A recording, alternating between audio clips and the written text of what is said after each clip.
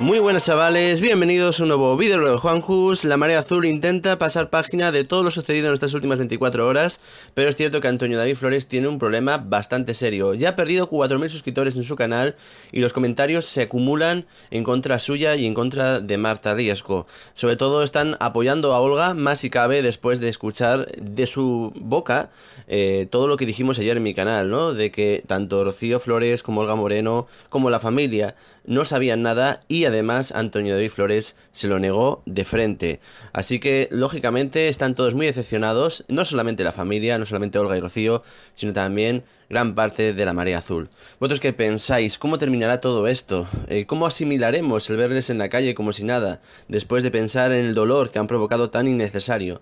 Es algo muy difícil de asimilar, pero es cierto que hay que pasar página y tirar adelante y centrarnos en nuestro objetivo que es 3.5. Comentad, opinad, darle like al vídeo, suscribirse. Un beso enorme y chao chao.